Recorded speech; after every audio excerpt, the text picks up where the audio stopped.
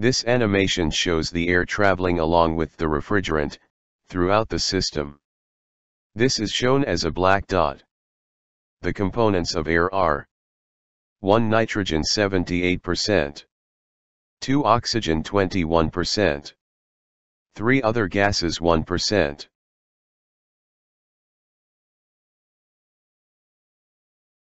Air also contains moisture. This travels along with the refrigerant throughout the system. This is shown as a blue dot in the animation.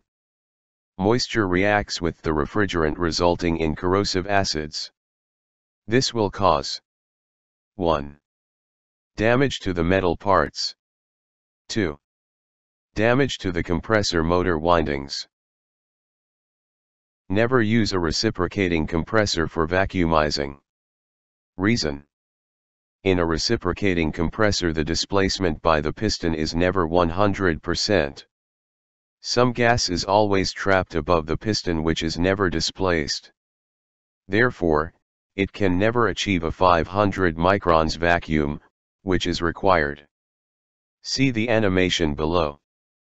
A vacuum pump is a rotary compressor. The displacement is always 100%. Use of LOTO. LOTO stands for lock, out, tag, out. It is a device used to lock the main electrical switch, so that it cannot be switched on accidentally. See the animation below. Here, the LOTO screw locks the MCB lever. In this position, the MCB cannot be switched on.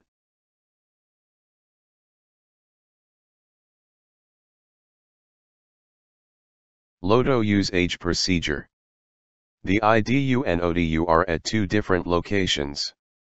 If a technician is servicing the ODU, and if some other person switches on the power supply, then this will result in an accident.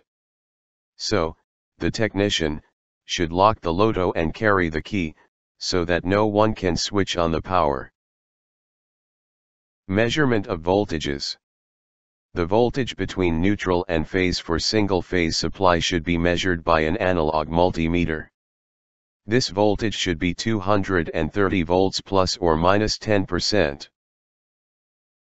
The voltage between neutral and earth should be measured by a digital multimeter. This voltage should not be less than 2 volt and more than 5 volt.